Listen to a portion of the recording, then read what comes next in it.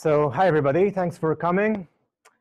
Um, so this is going to be recorded and put on uh, YouTube, so I'm gonna speak English tonight, but uh, I also speak French. Uh, so uh, feel free to ask me questions in French if you're more comfortable uh, like that. Um, and so yeah, today, so today is a Meteor meetup, but we're not talking just about Meteor, we're talking about Vulcan which is a framework built on top of Meteor. So earlier, uh, Vianney was saying that I left out Meteor from the description here, from the tagline. And uh, maybe I, I, can talk about why I did that later. It's not that I don't like Meteor anymore. There's still a lot of great things about it. But at the same time, you know, I think it's not a secret that Meteor is uh, evolving and changing. And um, I'm trying to kind of address that. And so, yeah, I think it's, it's you know, it's interesting to, to talk about that. So first of all, uh, let's come back to Vulcan.js. So uh, the full stack React plus GraphQL framework. Uh, right there from that tagline, you can see that, you know, just like Meteor, it's full stack. But unlike Meteor, it kind of goes uh, one step further and uh, makes some choices for you. In this case, using React and using GraphQL through Apollo, uh, the you know the other uh, JavaScript library developed by MDG, the, the Meteor development group. So why did I uh, start working on Vulcan.js? Well, uh, do you guys remember this blog post from uh, last year? Anybody? Yeah. So um, this was a blog post kind of making fun of how complex the JavaScript ecosystem had gotten, and it got really popular. So um, as you can see here, it got over 16,000 uh, recommends on Medium. And by the way, those are like real recommends. It's not the, the clapping stuff they have now. So you know it really means something. This really resonated with a lot of people.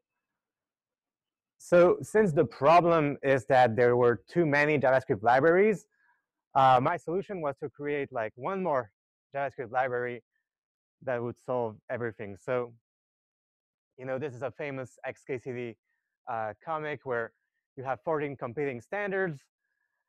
And the solution is one more universal standard that covers everyone's use cases. And then situation, there are 15 competing standards. So I think that that's that in large part explains the current state of the JavaScript world. But even so, I decided I also want to tr to try my hand at uh, solving the problem. So that's why uh, I'm working on Vulcan. But I also want to talk, you know, go back a little bit uh, further before and talk about the origin of Vulcan. So we're here at the Meteor meetup. So we all know about Meteor. It was a really cool way to write uh, JavaScript apps. And when it came out, it really did a lot of very innovative stuff. In fact, I think to this day, uh, it's still one of the most innovative solutions uh, in terms of building apps. It's, it's pretty much the only serious full stack JavaScript framework where you can uh, share code between the client and server. Uh, it's got the real-time aspect, the, the build tool, the package management. It's really a, a really amazing platform if you think about it. And in fact, I like Meteor so much that I ended up writing a book about it called Discover Meteor, uh, which also was uh, pretty popular. And I also launched an open source Meteor app called Telescope. Now, Telescope uh, basically lets you build your own Hacker News or product hunt type site. And it was really cool, but one thing that I noticed is that um, it was a bit limiting in the sense that it was really focused on only one use case, which was a shame because a lot of the features I built for Telescope could actually be, be used for you know, any kind of web app, not just uh, this kind of product hunt-like forum, but you know, blogs, forums, e-commerce, uh, communities, basically, uh, you know, any kind of app. So this is pretty much what Vulcan is. um, it's the next evolution of Telescope, where I rebuilt it uh, pretty much from scratch to be usable for any uh, of the most common use cases for building web apps and not just uh, forums. So what's Vulcan? Like I said, it's full stack. Uh, it's also opinionated, uh, probably even more opinionated than Meteor. So like I said, it chooses uh, React for you.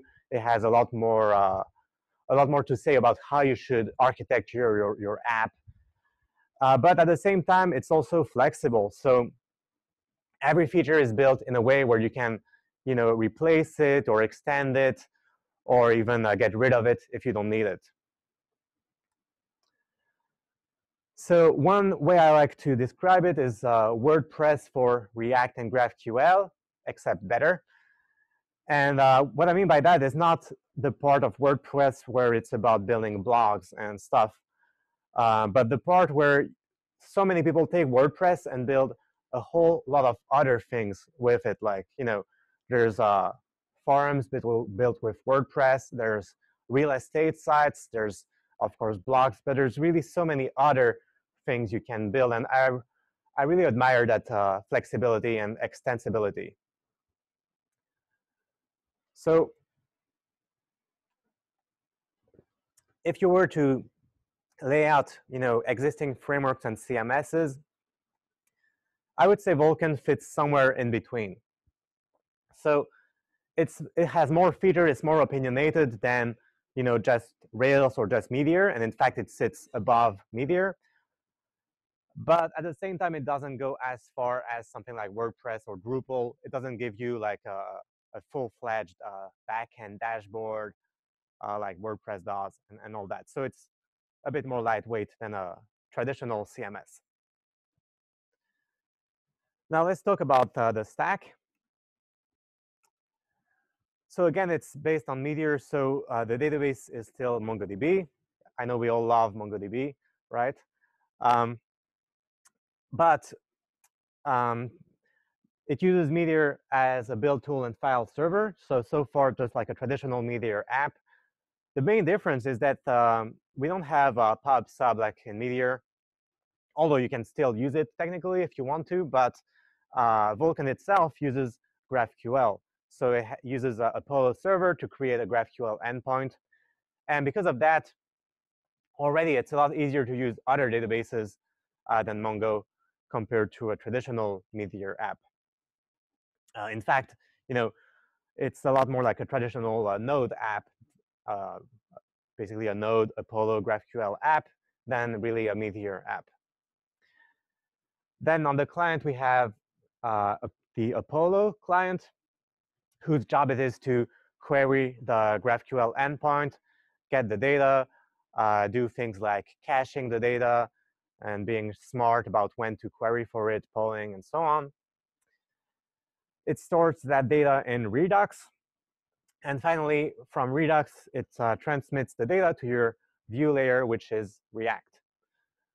So this architecture is basically just like a traditional uh, Apollo app, except it runs on top of Meteor, uh, which gives you access to the build tool, the easy setup, the accounts, and a lot of other things we like about uh, Meteor. So uh, what's GraphQL? Actually, uh, I know this is the Meteor meetup, so I bet some of you have tried GraphQL before, but maybe not everybody. So raise your hand if you've used GraphQL. Yeah, a, a few people. So it might still be worth it for me to quickly go over what GraphQL is. And really, like simply speaking, it's uh, syntax to query for data. So it lets you, uh, on the server, describe your data, uh, like it says here.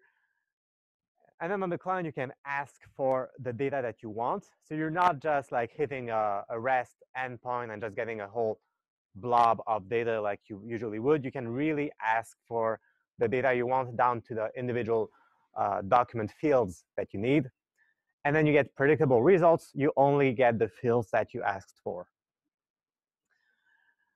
So how do you query GraphQL?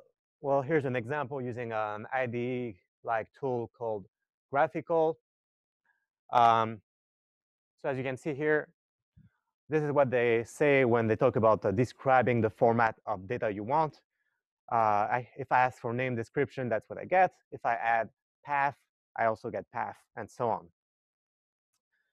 So this is super useful for something like Vulkan because Vulkan is all about extensibility.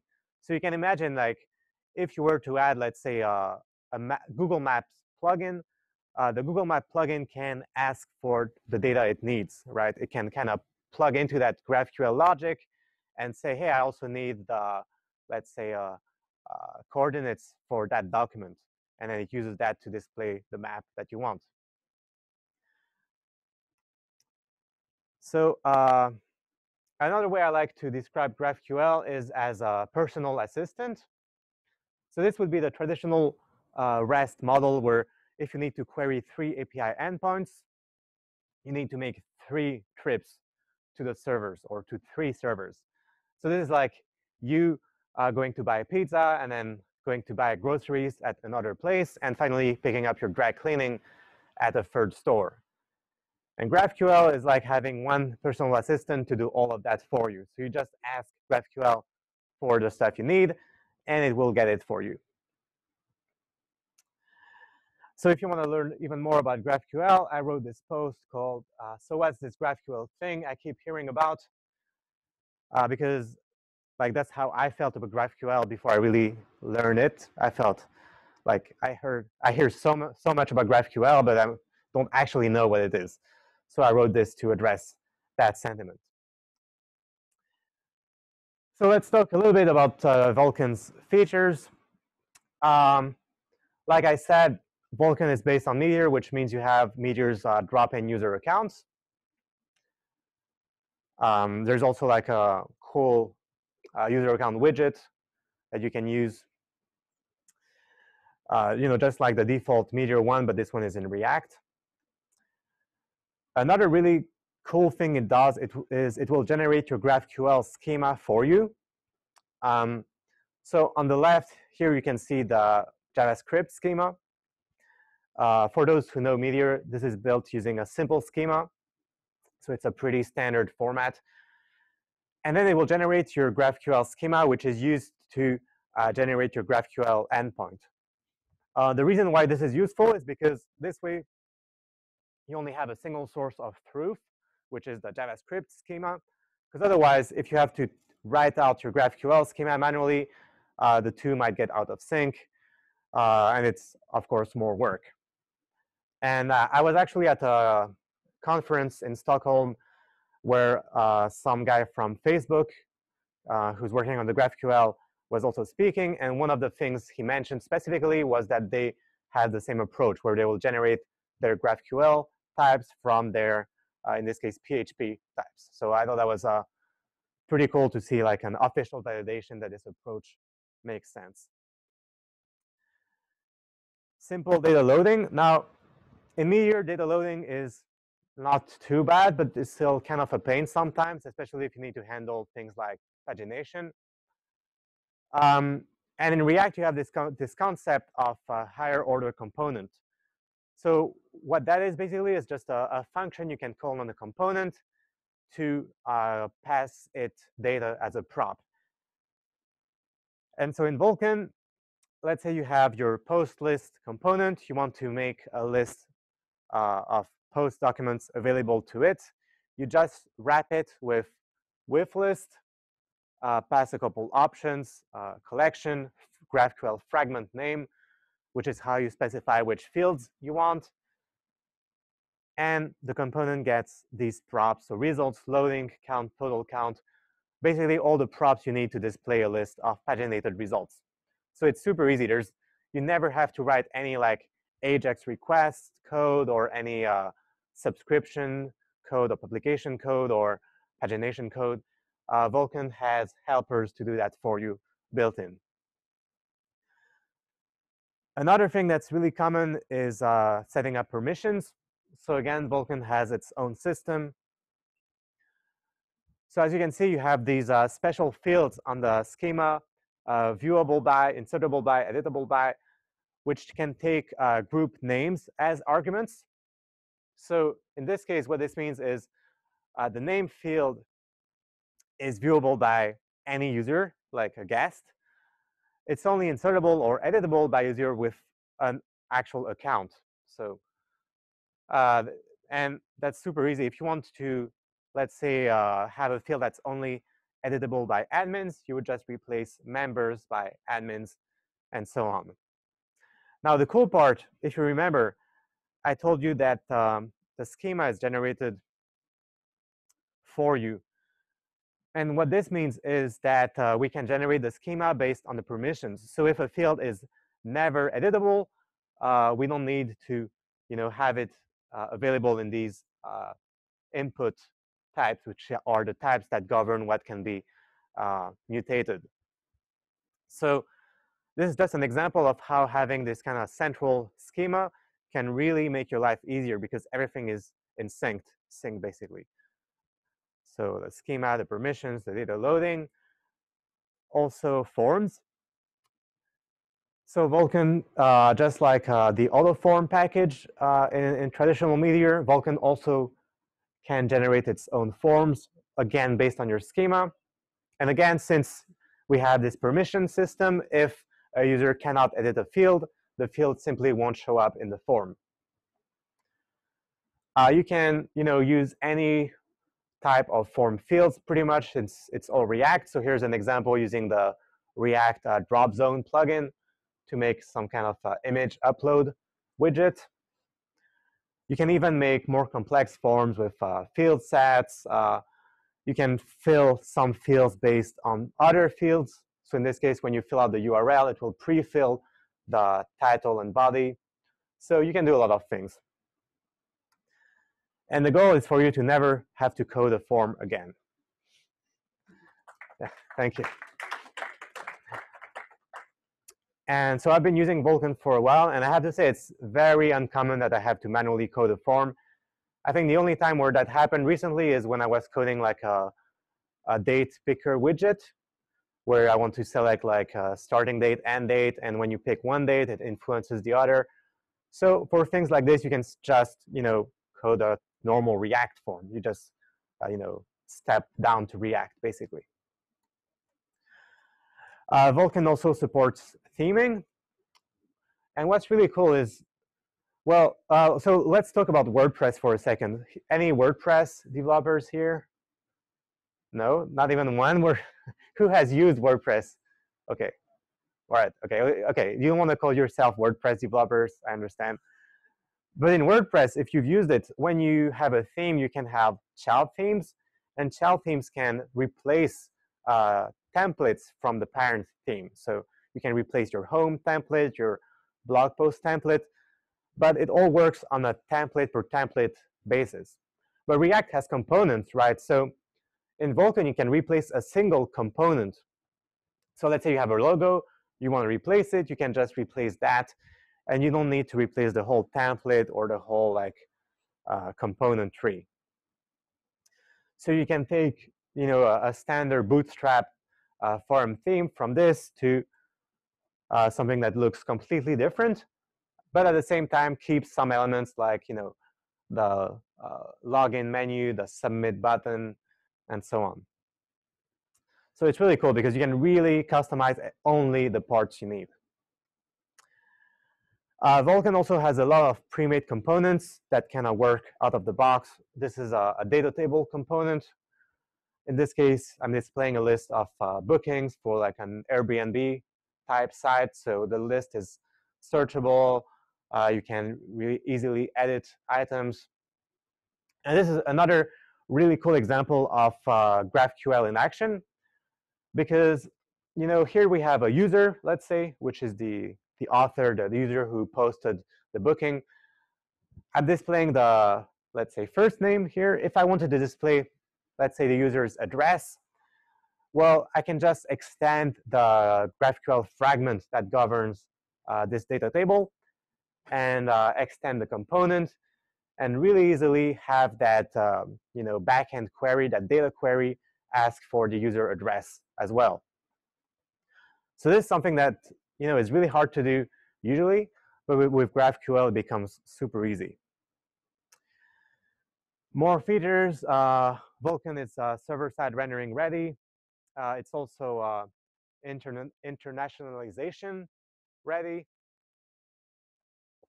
There's utilities for helping you sort and filter filter data. Uh, there's other plugins for sending out a newsletter, um, like aggregating your content and sending it out every day or every week. Payments, uh, email, notifications. Resolver batching is kind of a backend GraphQL performance optimization. So there, there's lots of things to play with. So how do you get started?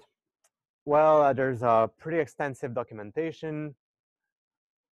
Uh, there's a tutorial tutorial you can do that takes you through building just a simple paginated list of movies. There's another one for building like a simple Instagram clone. And then there's the what I call the forum example, which is actually a telescope, basically, but rebuilt with Vulcan, so using GraphQL and so on. And I've also been working on an Airbnb clone example, which is a, a bit more full featured. So this one includes payments, uh, you know, a couple admin dashboards for bookings, listings. Uh, there's a map search. So it, it's pretty, it's pretty good. There's a lot to to learn from that. There's also a lot of videos on the Vulcan uh, YouTube channel, uh, both like uh, explanatory videos, also tutorials, case studies.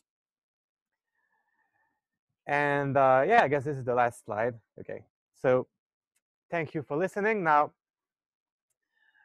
um, I guess we'll have a short live coding session, and then we'll do a Q&A. So if you have any questions, like keep them in mind.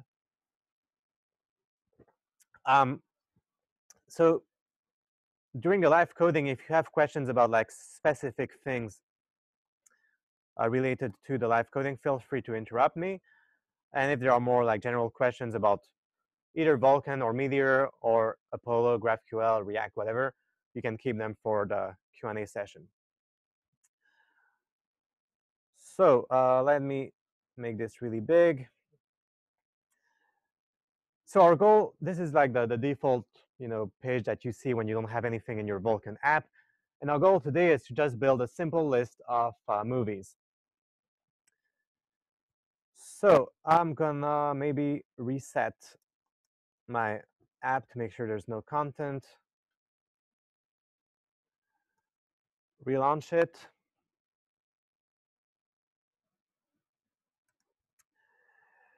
So as you can see, uh, it kind of tells you how to get started. Um, so we'll create a new route file and add a new index route. Uh, before that, uh, okay, how? Yeah, I guess you guys can't see much here. Okay. Yeah, maybe we could dim the lights. Uh, I'm also not sure how I can make this bigger. Uh, oh yeah, yeah, turning off flux is a good idea.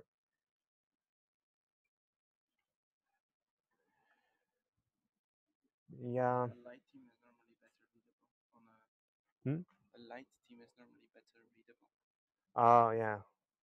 Yeah. Okay. Uh, oh, I- I- actually, oh, they changed the. Okay, they changed Sublime. Hmm. Well, a, a black on white one probably will be best. Yeah, I don't know. Okay. Oh, it's, it's called color theme, not. Oh, okay. Sorry, guys. We're um, color scheme. Okay.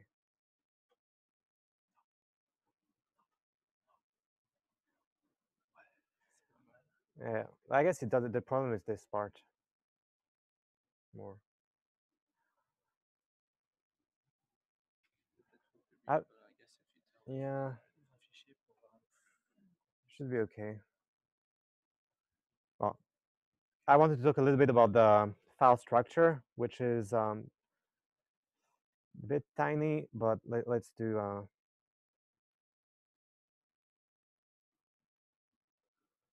let's do a really hacky way.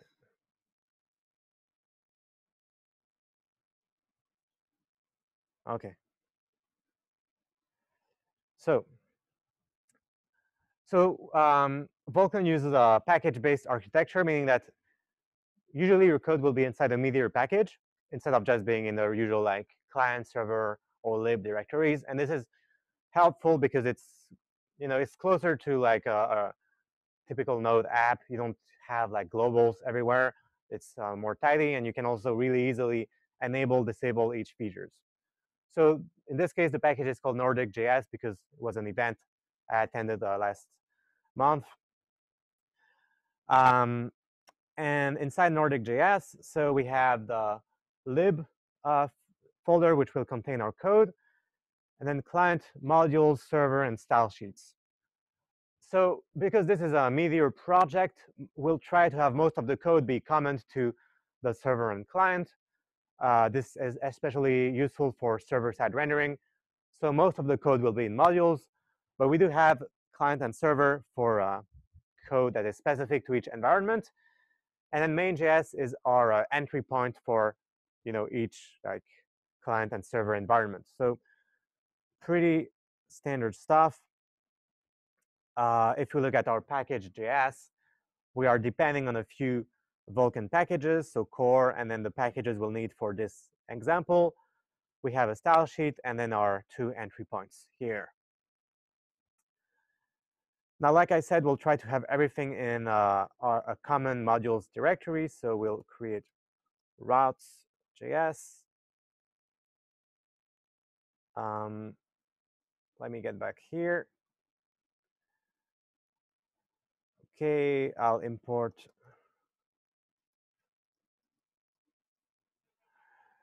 So here I'm creating a new route named home path uh, slash, and this is kind of a built-in component uh, from Vulcan just to check that your routes are working. Okay, so far so good. So this is the hello world component, tells you the next thing to do. Uh, create a new home.jsx component. So we'll actually create a new components directory. So this is not really required, but it's a nice way to keep your components code uh, separate. Oops, sorry, wrong. So what are we doing here? Uh, here we have our typical React component, really simple. Uh, the one weird thing, I guess, we're doing is calling this register component function instead of just uh, exporting default home. And what we're doing here is registering the components centrally with Vulcan. And the reason is because in Vulcan, we want everything to be uh, extensible and overridable. And this is how we do it. We kind of tell Vulcan about all our components, all our GraphQL fragments, all our collections, and that really helps us uh, kind of give them superpowers later on. So in this case, we register it. We're also gonna create a new components file just to import it. So components. Um, and by the way, feel free to raise your hand if you have any questions, if I'm going too fast, if something is not clear.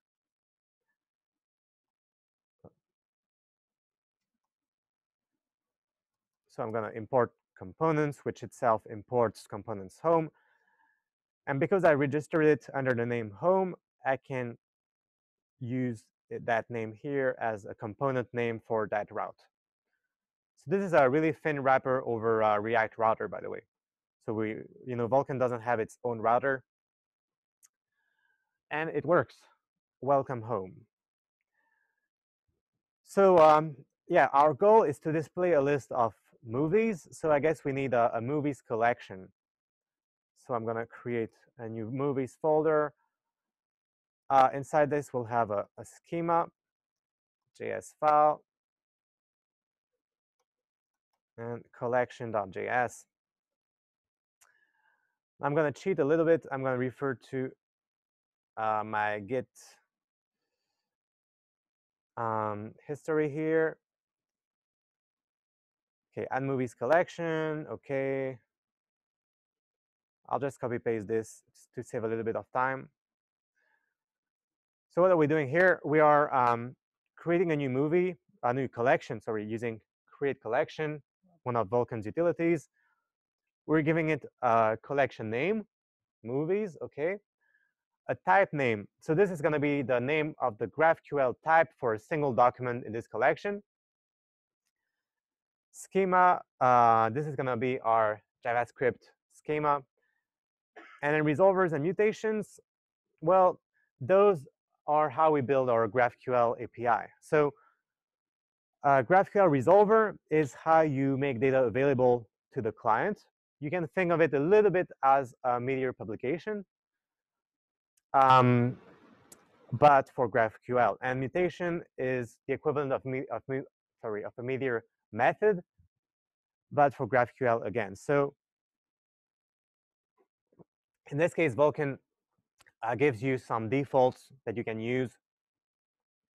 Um, so you could you could have your own like object here, but in this case, we'll just use the default and just pass them the name of the collection. So it will just work out of the box.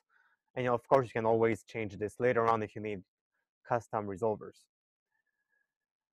Finally, the schema. So I'm gonna copy this over to schema.js.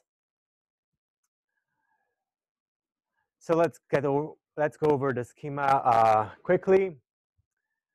There's an ID, um, and the ID is viewable by guests. Again, guests are just uh, you know non-logged in users, so just anybody who looks at your app in the web browser that's considered a guest. Um, created at is also public, viewable by guests.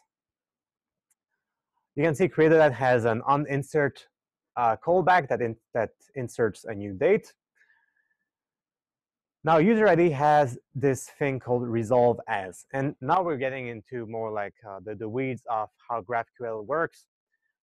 The whole point of GraphQL, and the reason it has this uh, word graph in its name, is that you can build a trees of, um, of API objects, so graphs. And what resolve as is telling uh, Vulcan is that we want the user ID field to become, to transform into a user field, a user object in the GraphQL graph.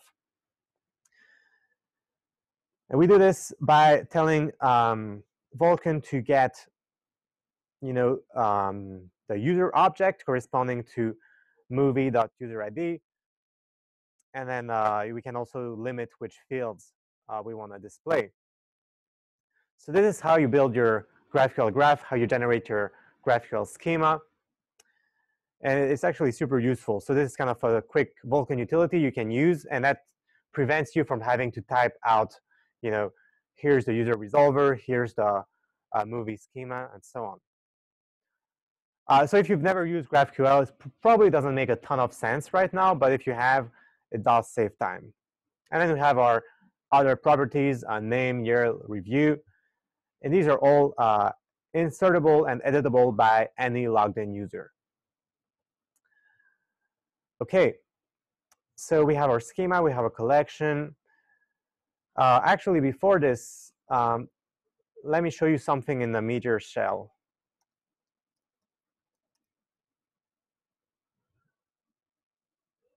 Let's make this, whoops, bigger. Uh, okay, now so I'm in the Meteor shell. I'm gonna, no? Okay, yeah. I'm gonna call get Vulcan.get GraphQL schema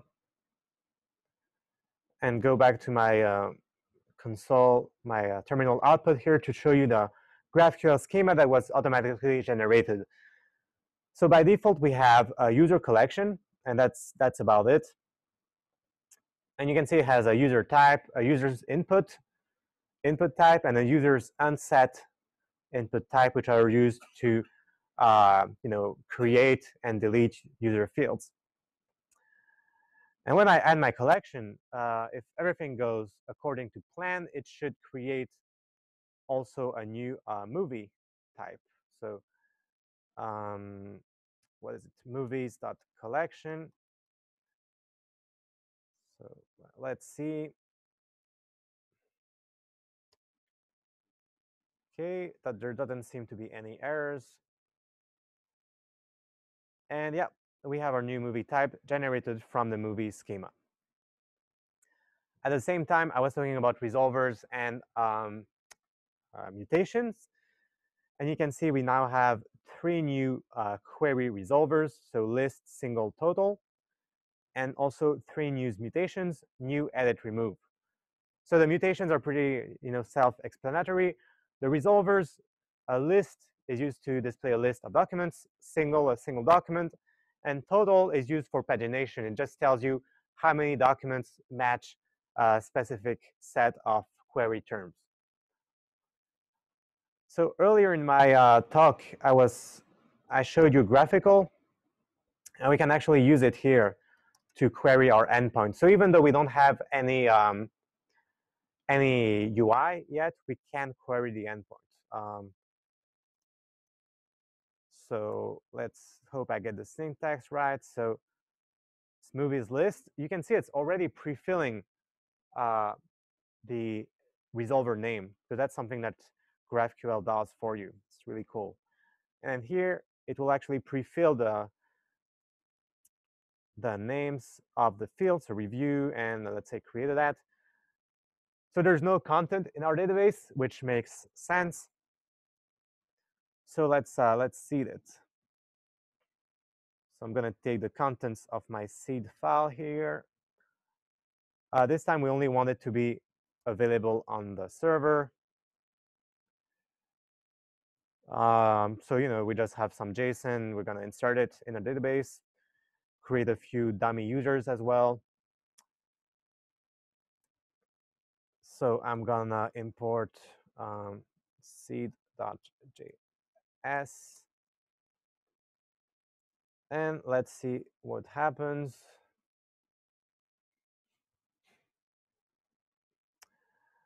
Uh, movies.find is not a function. Uh, let's see why. Um, Okay. Okay, give me two minutes to think about this one.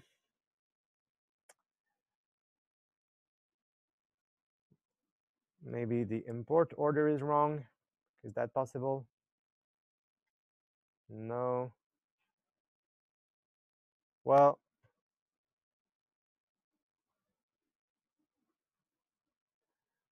Okay, let's just remove this thing for now.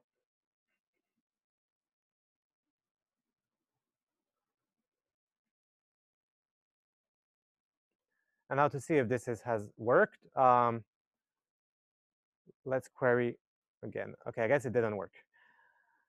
This is the part of the live coding where everything goes wrong.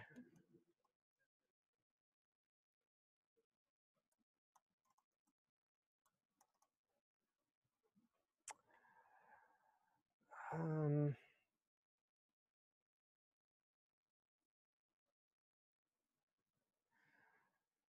so, okay, let's take a break.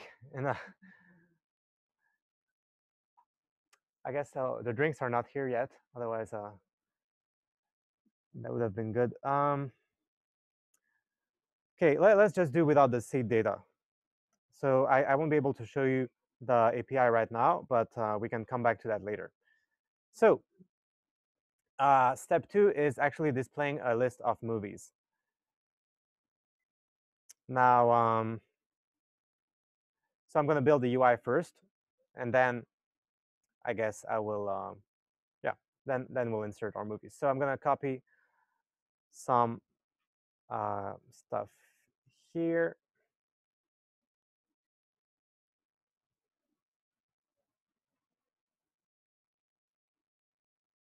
Oops. Okay. So this is going to be our home component. So I'm just going to test to see if the data is loading. If it's loading, I'll display this component. By the way, whenever you see components dot something, that's like a Vulcan component.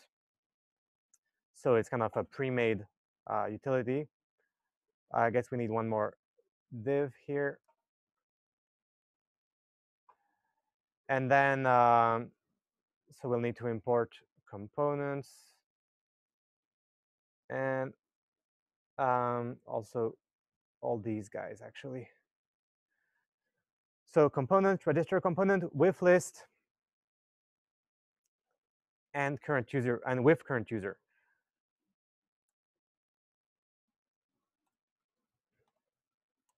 So uh, by passing uh, with list and with current user to register component, we can kind of tell Vulcan to wrap register component with them. And we need some options for with list. We'll just tell it collection movies, uh, and of course, import movies. So, okay, let's see if that works. So, uh, okay, I guess I might have a problem here. Oh, okay. Yeah, that was, uh, okay. I, earlier I was saying, oh, we don't want none of the Meteor globals and uh, we want to import and export everything manually. Sometimes uh, it has its downsides. So now maybe the, the seeding will work. Yeah, great. Yeah, we're back on track. Um, so yeah, this now you can see in GraphiQL, we can have our movies. And again, uh, you can really see the how you can ask for what you want. And to show you the graph aspect of GraphQL, well, I can ask for uh, data about the movie user. And I, have never, I never wrote like a, a display name field on the movie's user, right? But because user has that field, you can kind of dig through the whole graph. And that, that's actually really handy. Okay. And what you know, we also have our movies here in our um, app, in our home component. So what next? Well, we want to uh, actually paginate that list yeah, add pagination. So that's not too complicated. We can just um, do a couple things. So I'm gonna first add a couple more props that I have. So total count and load more. And then uh, add this little bit of uh,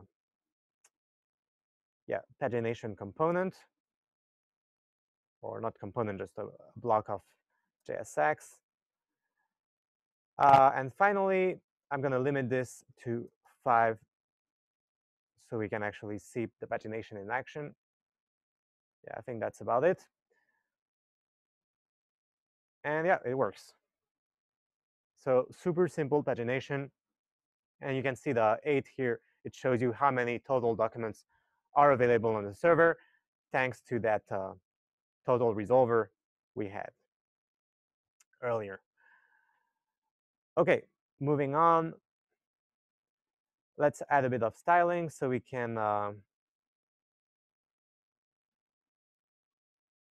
add bootstrap using the helmet package.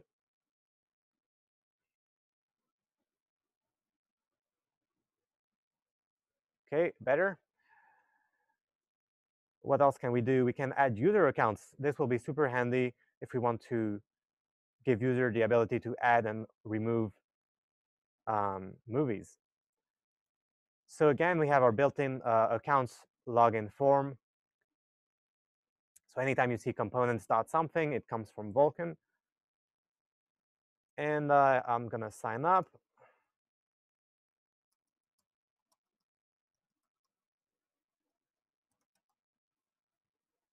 Okay, now, because the first uh, user account you create in Vulcan is automatically assigned uh, admin privileges, I can now edit any of these movies. So if I want to change the name, the year, uh, the title, it's really easy. Um, one thing you'll, you'll notice is that everything is updated instantly.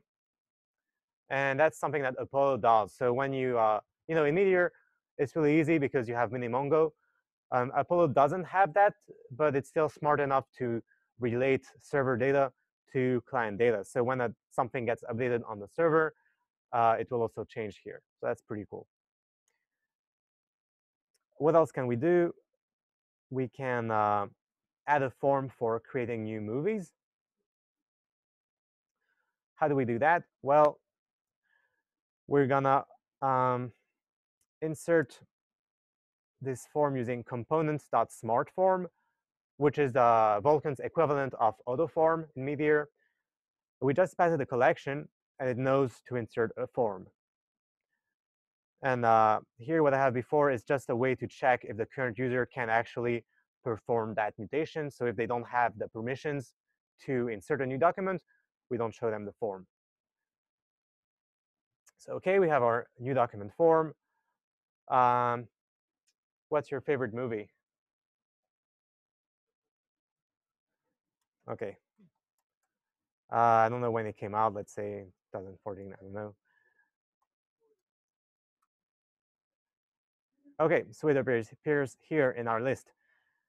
Again, it appeared instantly, and that's actually something that Apollo will not do for you out of the box because Apollo doesn't know um, that this specific list is where that movie should go.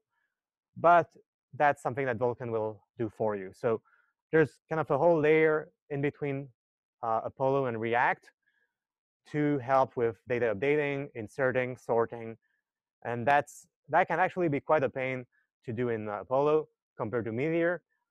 And uh, that's why I really wanted to kind of replicate the Meteor experience, developer experience in Apollo and in Vulcan. Uh, okay, so let's actually sign out and uh,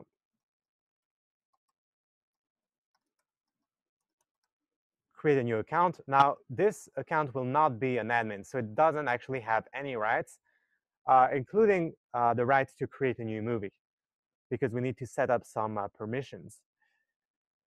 Um, I think I don't need to do that. So add permissions to enable members to add, edit, remove movies. We can do that pretty easily. So export default movies. Now, I'm going to import the users collection from um, Meteor Vulcan users. And uh, I'm just calling users.groups.members.can on an array of action names. And all these this does is just tell Vulcan that the members group can perform these actions. And then the mutations, the default mutations are actually preset to check for these specific uh, action names. But it's really just uh, strings. It's just text strings. So you could add, you know, other actions. You could even not use actions at all and just have your mutation check for, uh, you know, other uh, attributes of a user. But anyway, this works well enough. So I'm going to create another movie. Uh, what's your favorite movie? Hmm? Oh, okay. I don't know if that's how you spell it, but let's let's pretend. Uh, it's from 90. I don't know. Hmm? Okay. I was I wasn't that far. Okay, so we don't have any sorting here, so it will appear at random places, but it did appear. And you can see, uh, because we're not an admin anymore, we can only edit our own content, which you know just makes sense. So let's add uh, sorting. So we're gonna sort movies uh, by created at minus one, meaning uh, de decreasing or you know, newest movies first, basically. Um, what's cool about this and about Vulcan is that it will actually sort uh, your list the same way both on the server and on the client. So you know when you uh, load this, it's server-side rendered and it's loaded the right way. And when you enter something else, uh, favorite movie? Inception? Okay. Uh, 2010? No, I don't know.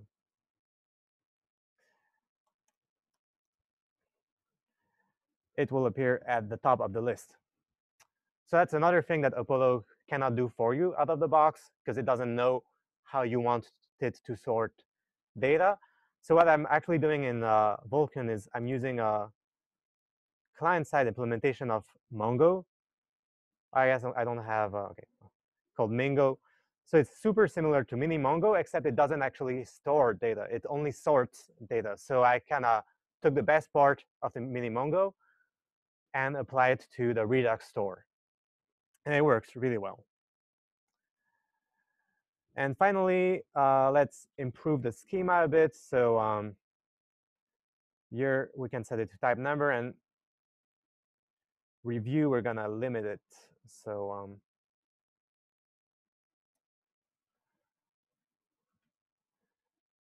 uh, where is your type?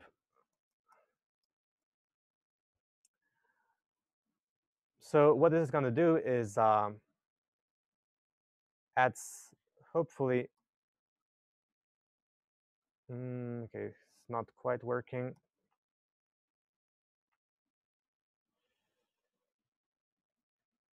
Okay, let me let me double check this. Well, that might be something I need to fix later, but as you can see, because we added a limit to the review field, there's no like now like a counter like on Twitter or anything. So that's another like kind of cool feature you can have with Vulcan that saves you time. And you also have form validation. So this is what I actually wanted to show you, where if it goes over the the character count, it will show you a message. It will also trigger an error on the server. So you have this whole client slash server uh, validation. So anyway, uh, so this is the end of the demo. Um, and I guess now it's time for questions, if you have any. Oh, well, thank you. And applause, too. Thank you. I hope that doesn't mean nobody has any questions. Uh, OK.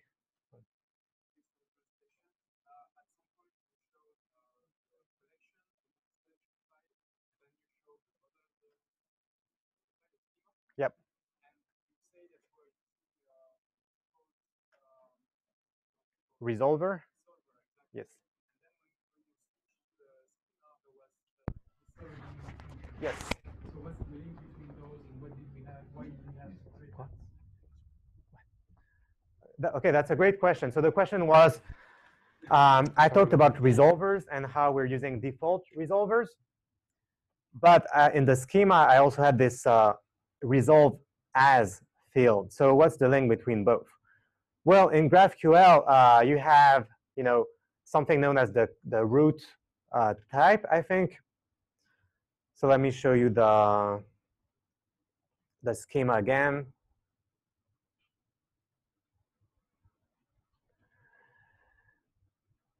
And, or, or the query type, I guess, yeah. So the query type is um, a type that has fields and those are the default resolvers. So in GraphQL, a field can typically either be resolved, and by what I mean by resolved is like, like knowing what the field contains. So it can be resolved either because it's a field on the document, so like the name of the movie, the year of the movie, those are just physical fields in the database, or it can be resolved through a function.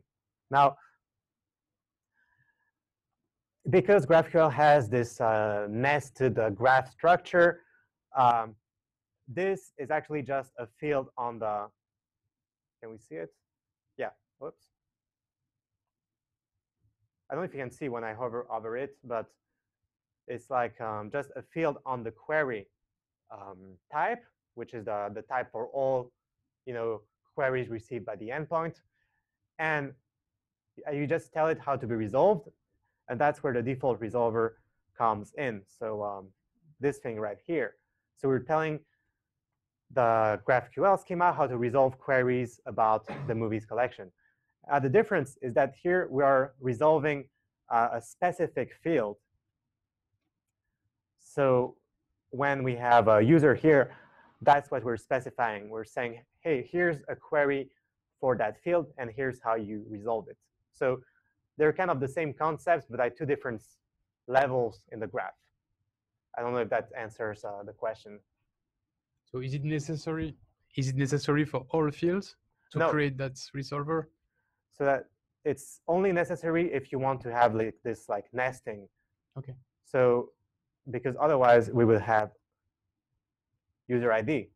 So if instead of user ID you, you want, or in addition to user ID, you also want this access to the whole user object, that's So- when you write resolve as. Yeah, because yeah, actually what you're doing is you're doing a joint request, right? Like, Yeah, yeah. That's why you need you need to do the resolver manually. Yeah, exactly. It's it's like a join uh, in, in SQL or Okay, whatever. makes sense. Thank you.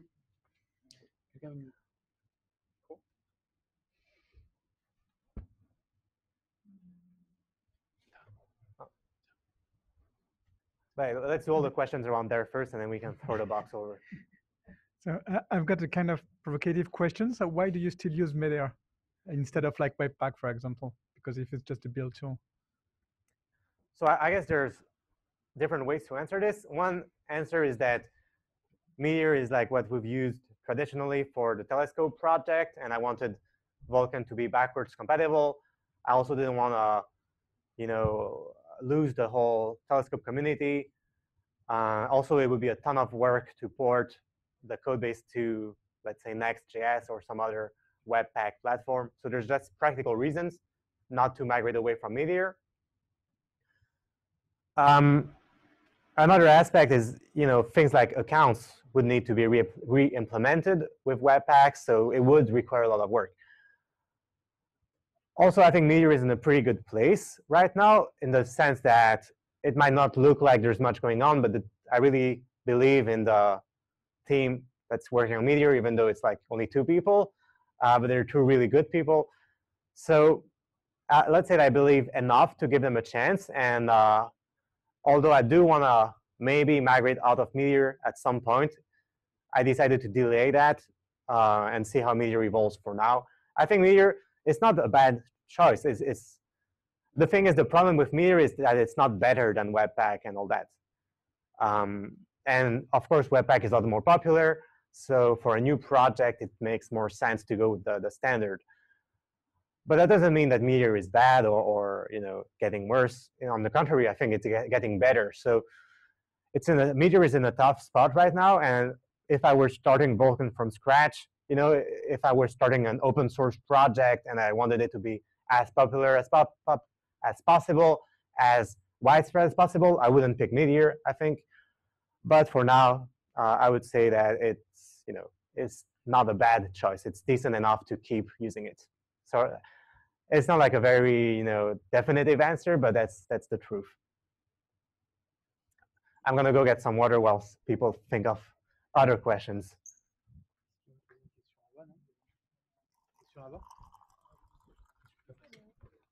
Uh, by the way, I, I don't know if I repeated the question, but the question was, why am I still using Meteor for Vulcan? Hi. Um, I'm curious if you included any any test framework or if you have any plans to do so uh, or templates for running tests, basically. Yeah, so tests is one of the weak points of Vulcan right now. Um, the main reason is because I've been doing so much refactoring of the, you know, uh, the GraphQL backend and all that that I, I thought, you know, any, any I write, I will just have to rewrite them uh, soon anyway.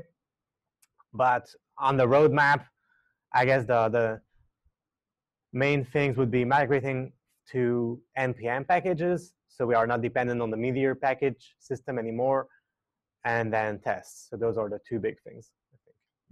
To to some extent, I feel like it's one of the weakness of a bit uh, of the Meteor ecosystem. I feel a lot of projects usually like put the tests aside, maybe because it's so fast to to build Meteor apps. But I Yeah. think that's why it would be particularly valuable potentially. and also there's some practical concerns like not all test frameworks work inside the Meteor app. Um, like I know, for example, I, I, wanted to implement Storybook for uh, Vulcan, but it's not possible because you can't do like uh, import uh, from a Meteor package because Storybook doesn't know about Meteor packages. So that's one of the, main reasons we want to migrate to NPM. It would still be a Meteor app, but just running everything inside uh, NPM. And this way you can use Jest, you can use Storybook, and, and all that.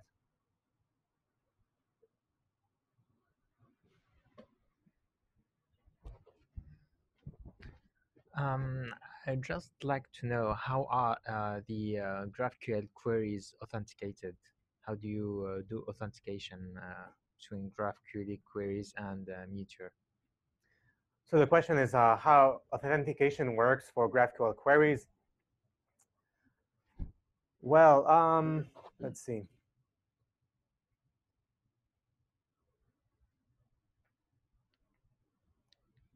So basically, um,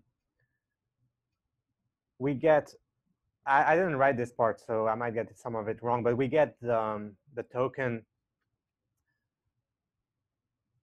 somewhere in the Apollo uh, server code. At some point, we get the token, and then we Using that, we query for the current user, and the current user is then passed as part of the context. So I can show you actually. Uh, if, if you like how you get the current user, I would have to get back to you on that because it was part of uh, the open source effort. So I'm not the one who wrote that. But once you get the current user, it will be available on the context of every resolver. So whenever you need to query for something in the database or you know, build any part of your GraphQL API, you can access that current user object and test based on it. And for the, the you know, the, the actual um, setting up of the GraphQL server to have that data, it's somewhere in there, uh, Apollo server. Yeah, but um, I, I would have to get back to you on that. Yeah. Yeah you can see we're doing stuff with the, the token here. Um, another question: Can can I use um, can I use Vulcan just as a backend for a React Native app, for example? So can you use Vulcan as a backend for a React Native app? Yeah, you can. Using the Apollo client. Yeah. So you know, once you have Vulcan, it just sets up a, a regular Apollo server GraphQL endpoint. Uh, so you, you can connect to it with any client GraphQL. can be you know vulcan's own uh, front end it could be a different react app could be react native a desktop app pretty much uh, whatever can connect to a graphql endpoint i guess the only uh, trickier part is the accounts um, so you might need to you know i'm not sure how react native apps handle Meteor accounts but anyway, you know, down the road, the idea is to also handle accounts through the GraphQL endpoint and not through DDP. Right now, because of legacy reason, it's still kind of halfway on DDP. But uh, yeah, I think it shouldn't be too much of a problem for uh, a React Native app.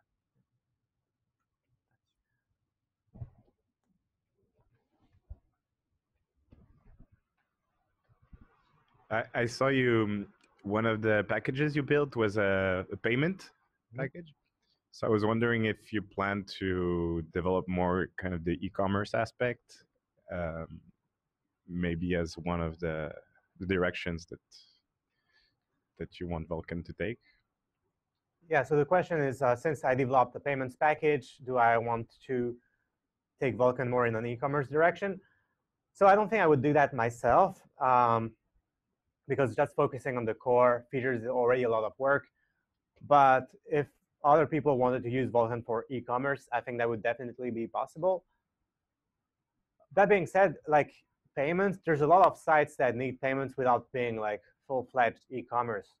For example, I use it on uh, on my uh, I no no internet on sidebar.io, which is a, a newsletter I run, and uh, I wanted people to be able to uh, buy sponsored links and I, I just used the Vulcan payments for that.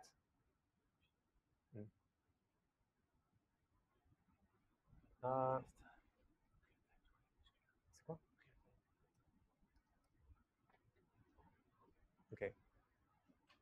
So I wanted to to have people just be able to submit links, and I used the payments uh, package. By the way, Sidebar is built with Vulcan. I guess I should say that. Um, and so yeah, the payments package is super useful to just add like uh, specific payment screens without having to build a whole e-commerce site. Uh, but yeah, in the future, I think, yeah, I could definitely see like shopping carts, uh, e-commerce backend features, and all that being added to Vulcan. Question over there. Thank you. Uh, do um, the Apollo and um, uh, GraphQL endpoint server handle um, the offline mode? Mm. So the question is, does Apollo handle offline mode? I don't think so. Well, so Apollo stores all its data in Redux. So actually, if you could find like plugins or packages to store your Redux data in local storage or do something like that, I think it should work. Because once the data is in Redux, it's just like any other Redux app. I don't know if Apollo client itself has specific features for offline, um, but it might. You know, uh, I guess uh, we can find out.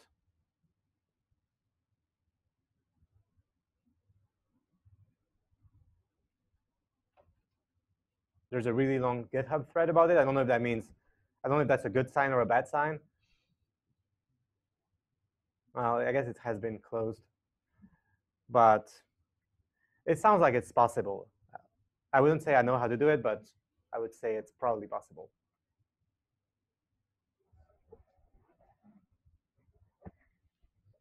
Any other question? Diana, did you have a, a question? Roadmap? So what's the Vulcan roadmap? Okay, so um, short term, well, okay, here's what I've been working on for the past month. Uh, I mentioned that uh, Vulcan is the continuation, the evolution of Telescope, which was this, uh, you know, forum type uh, app. And uh, because of that, it still had a, a, kind of a weird architecture where I can show you actually. Uh, a lot of the packages are actually only relevant for a forum. So you, you can see right here, you have Vulcan comments, Vulcan uh, posts, Vulcan notifications.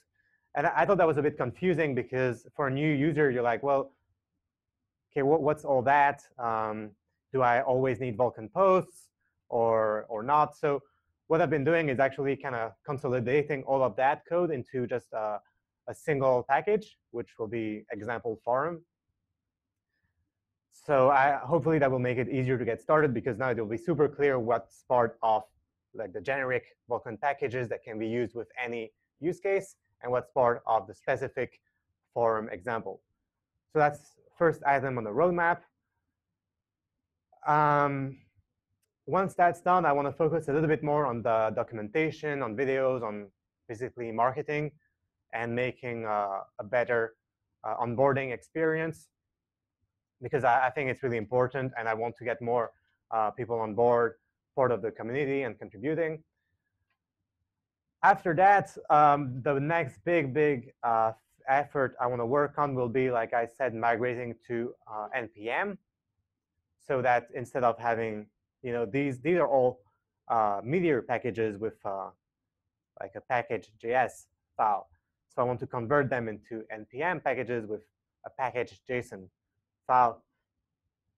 So I'm not sure how much work it will be. It might be super simple, or there might be a few tricky things. Uh, so that's the, let's say, the roadmap for the next couple months. And in longer term, I want to see how Meteor itself is doing. Um, if it's catching up to Webpack and Next.js, maybe continue with Meteor. If not, maybe explore other options. Next.js is kind of uh, the, the front runner uh, for us right now because it helps a lot with server-side rendering, for example. Uh, it has a really active community. There's like um, projects like uh, RAN, which is React Apollo Next.js, uh, which is pretty cool, does a lot for you. Uh, so Vulcan could migrate to something like this, maybe. Yeah, uh, where's the, oh, the box? Hello, uh, do you think it's possible to use the Meteor PubSub uh, feature to implement the subscription uh, proposal? Uh, the, the GraphQL uh, subscription proposal. So is it possible to use Meteor PubSub to implement GraphQL subscriptions?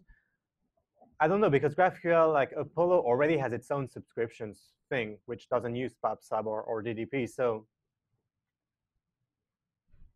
uh, I, I, don't really know. I, am not saying it's not possible, but I'm also not sure I see the point because they already have their own thing to do it. So.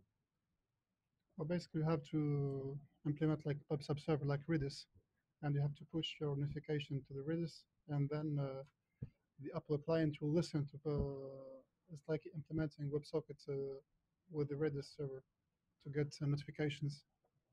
Um, yeah, I have to say I haven't looked at Apollo subscriptions myself yet. We actually have a PR that I need to review that adds them to Vulcan. So yeah, I don't know enough to know if throwing like Meteor PubSub DDP into the mix would actually make things better or not. But eh, I mean, it's possible. I'm not aware of anybody doing that currently, but who knows? Uh, I do think though that the tendency is more shifting like away from DDP and towards uh, kind of a, a, stack agnostic data layer like Apollo, because you know DDP's big problem is as good as, as it was, it was always tied into Meteor, and that really uh, slowed it, its adoption by other platforms.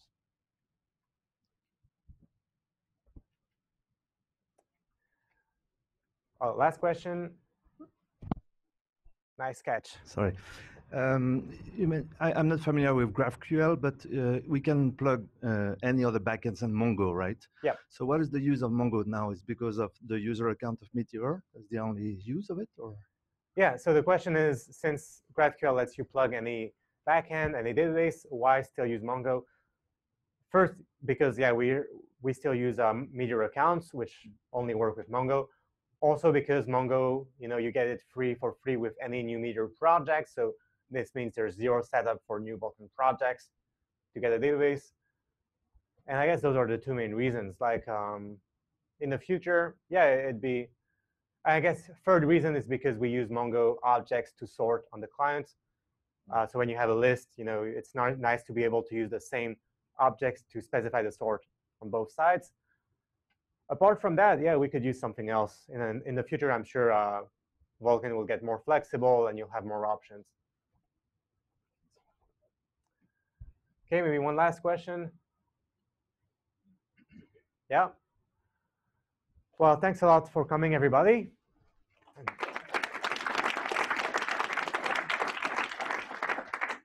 And uh, if you want to learn more, you can go on vulcanjs.org. And we have a super active uh, Slack channel with uh, a lot of people. So you are all welcome there. If you have any questions about getting started or contributing, uh, please let me know. And hopefully see you soon. Yeah, thanks.